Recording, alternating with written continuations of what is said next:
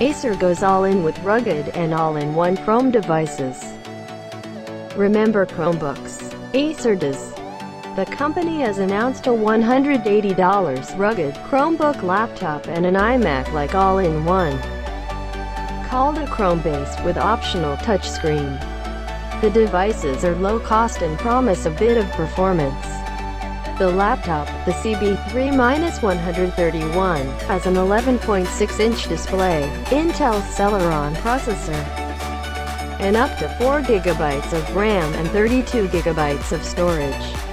It also has an SD card reader.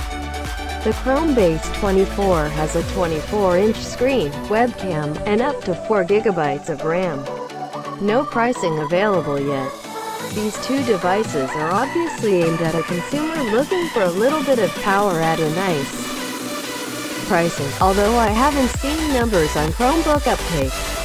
There is something compelling about a laptop that costs less than a gaming console.